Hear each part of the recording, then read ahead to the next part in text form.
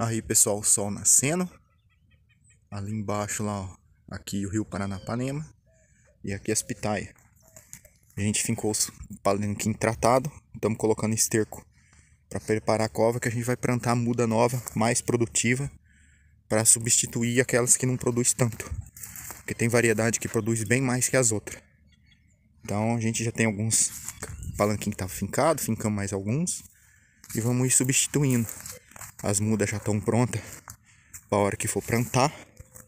E aí o serviço aqui é podar essas um que está em volta, colocar o esterco, depois a gente vai preparar a cova, incorporar esse esterco na terra para plantar e aí vai ser conduzida a pitaia nesses palanques.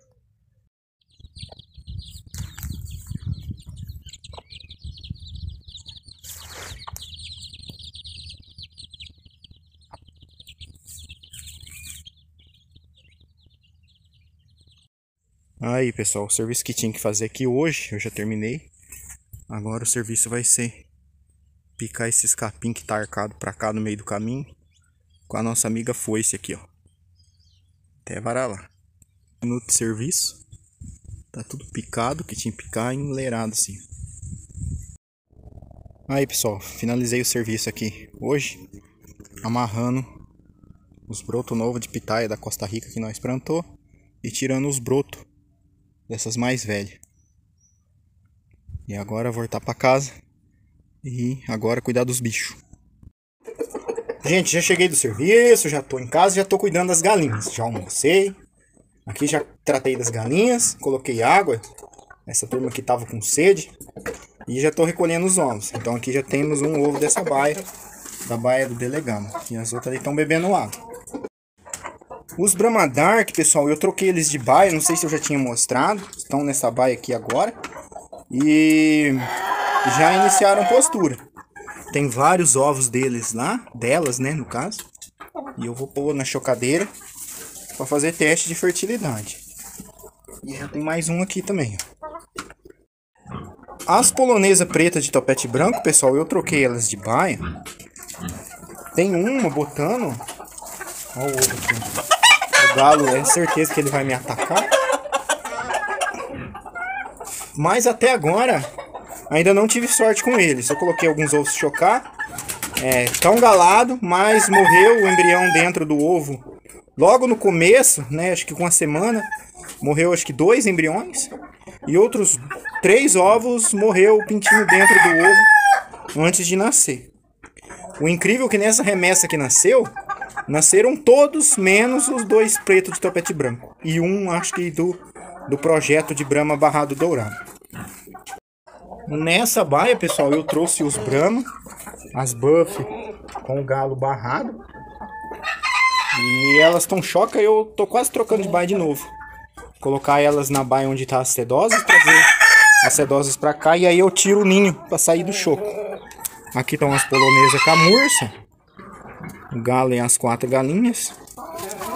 Aqui nasceram vários pintinhos já delas. E teve uns ovos por último que não tava galado. Eu já fiz pó de higiênica, não sei se eu vou ter que fazer mais alguma coisa. Ou se simplesmente foi alguma coincidência que deu certo. De, de tirar três, acho que três ovos que não estavam galados. Porque já tem vários pintinhos dela. Tem franguinhos já, inclusive, foi das primeiras raças. Que começou até ovo galado na temporada. Eu vou mostrar, vou mostrar os pintinhos, os franguinhos. Tudo nesse vídeo. As legornes chegaram, ficar acho que cinco galinhas botando. Agora só tem uma ou duas. Olha os porquinhos dando trabalho lá brigando. Eita, as porcos. Aí as, as legornes. Tem um ovo aqui também. E eu vou mostrar as sedosas também.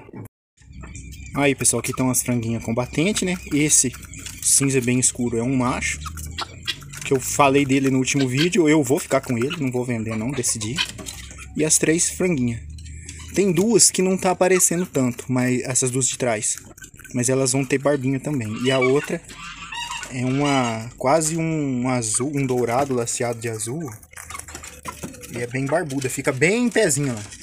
Do jeito que eu queria que fosse.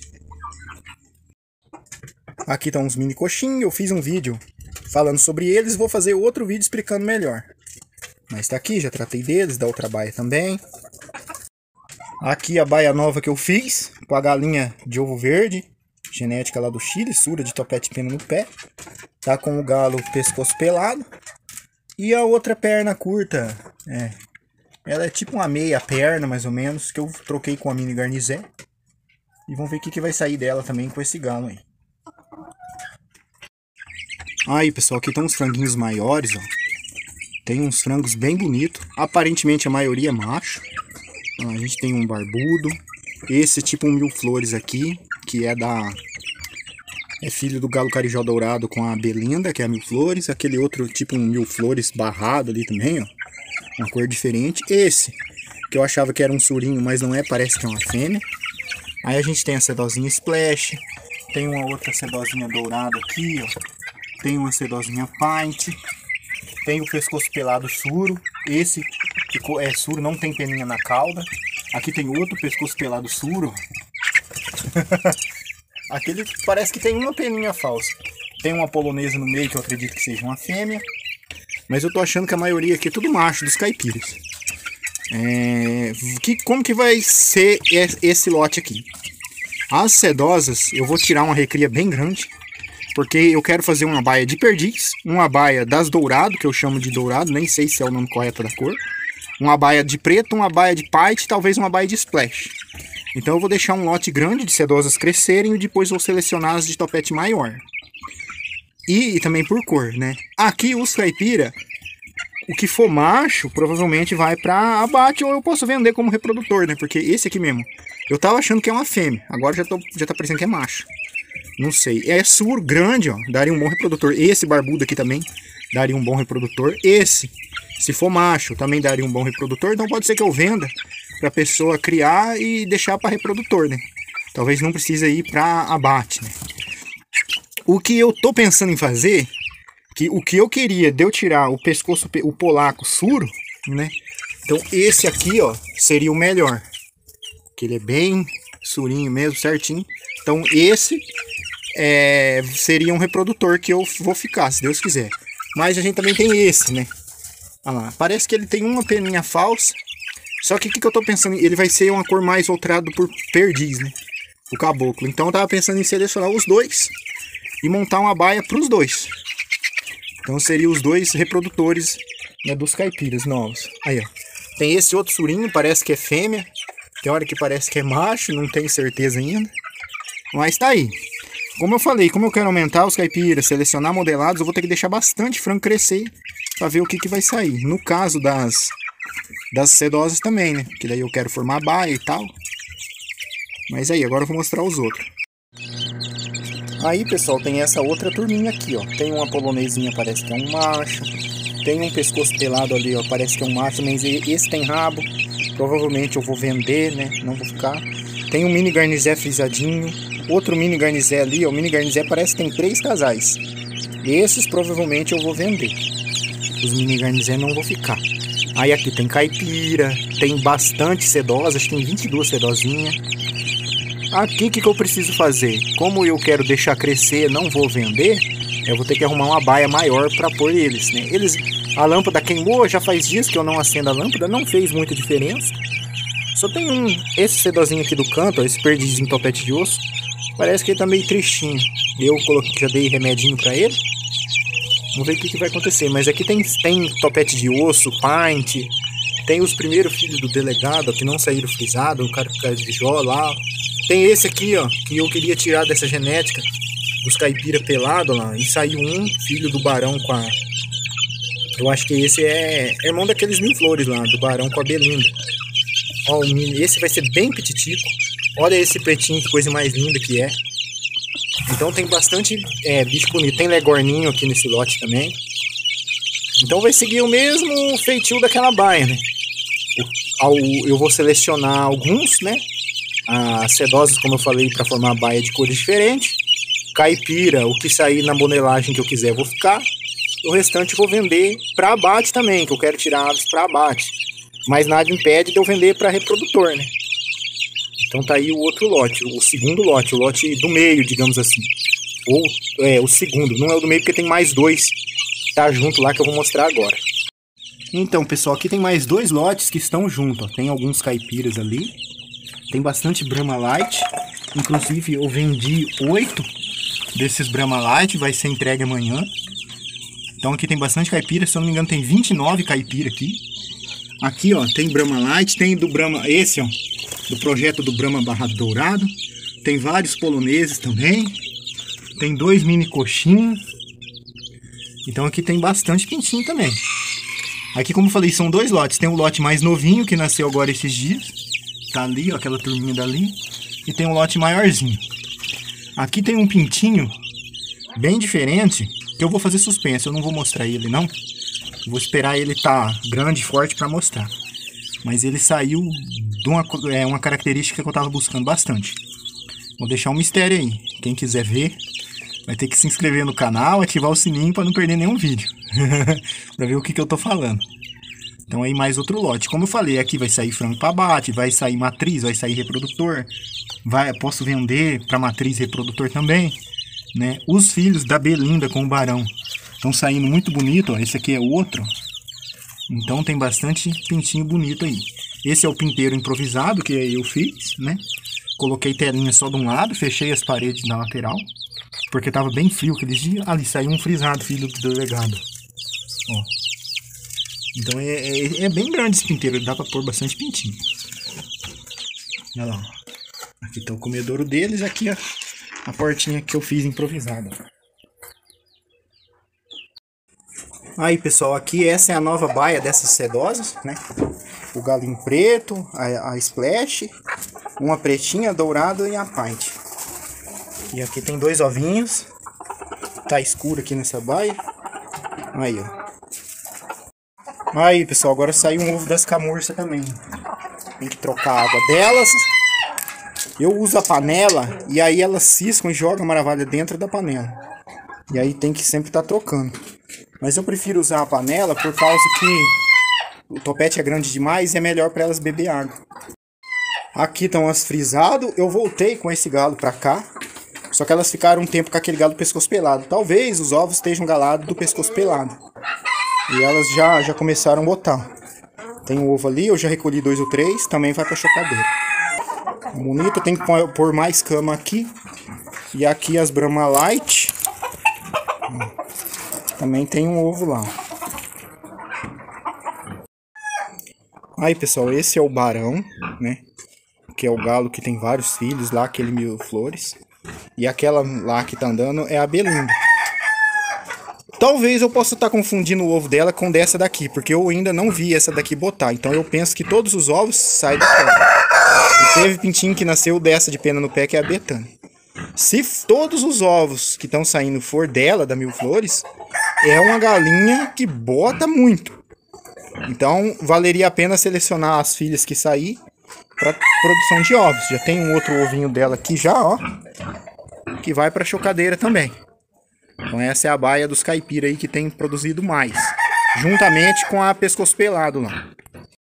Com essa baia aqui, ó. Que é daqueles frangos lá. Pescoço pelado suro, né? Tá as duas galinhas pescoço pelado e o galo suro. Essa de barbinha ali bota pra caramba. Aí eles.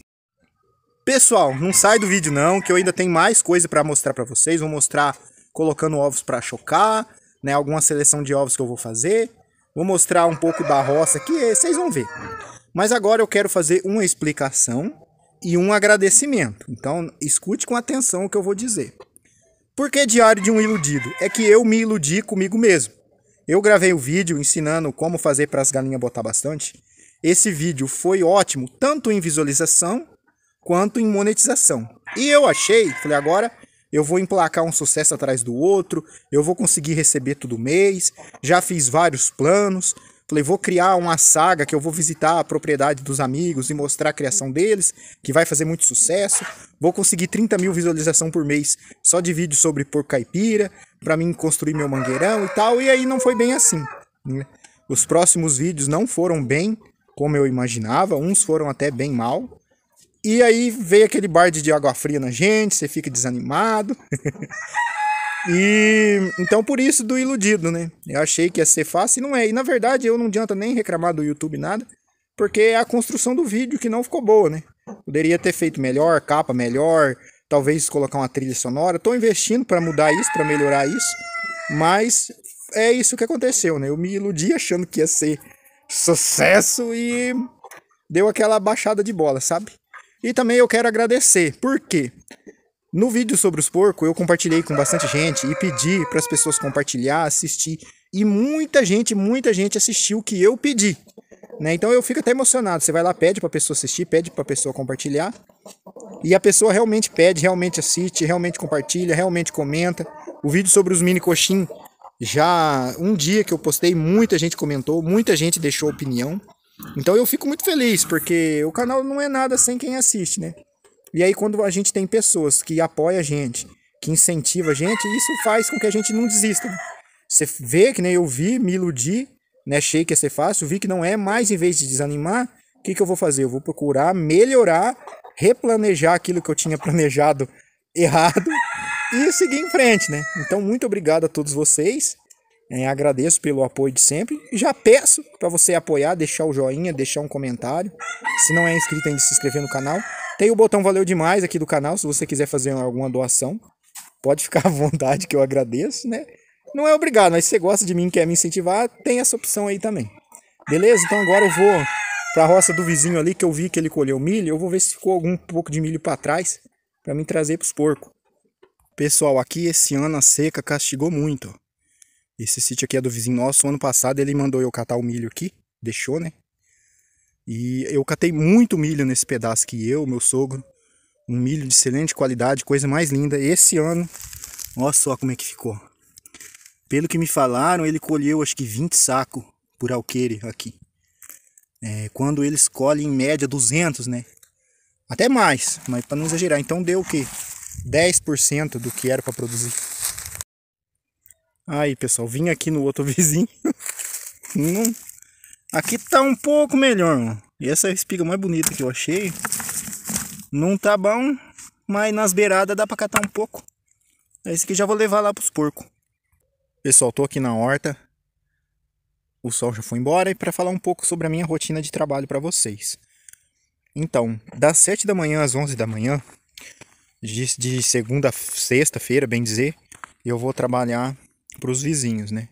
Ou eu vou para o seu Eduardo, ou eu vou para o Valtinho, que é onde eu estava hoje. E depois, quando eu volto, né, eu almoço e vou mexer com as galinhas. Tratar das galinhas, pôr água, tratar dos porcos. E aí depois, ou eu venho pra horta, às vezes ajudo o meu irmão no bananal, cuidar da banana, né, embalar a banana, né? O bananal eu tenho de pouco. Tem, não tem sobrado tempo. E às vezes quando acontece de não ir trabalhar para os vizinhos, daí ou eu fico aqui na horta, ou eu vou carpir o terreiro, mexer com os bichos, construir alguma baia nova. Então minha rotina de trabalho está sendo basicamente essa. E gravar vídeo para vocês, né? E agora o dia está se acabando, mas o vídeo ainda não. Eu vou lá limpar a chocadeira e vou colocar mais ovos para chocar. Aí pessoal, mais 36 ovos para chocar, tem polonesa preta de topete branco, polonesa prata, polonesa camurça, tem vários da Brahma Dark, algum da caipira. Mais 36 ovos e separei duas dúzias para consumo. E é isso aí, agora é só esperar. Amanhã talvez eu coloque alguns das mini garnizé. E Vamos ver quando nascer, eu mostro para vocês. Então esse foi o nosso vídeo de hoje. Espero que vocês tenham gostado. Fiquem todos com Deus e até o próximo vídeo, se Deus quiser.